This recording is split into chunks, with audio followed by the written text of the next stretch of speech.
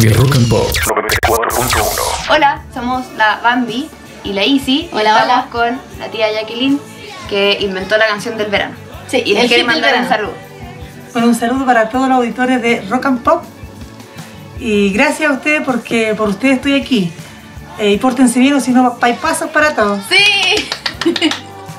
Muchas Ídola, ídola, Rock and Pop. 94.1.